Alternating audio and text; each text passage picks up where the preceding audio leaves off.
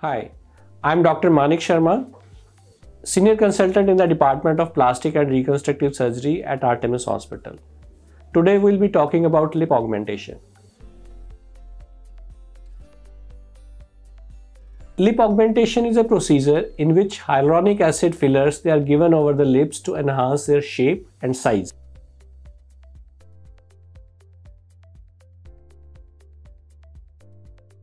It's an office procedure which can be done in 30 to 60 minutes and patient can see the results immediately after the procedure.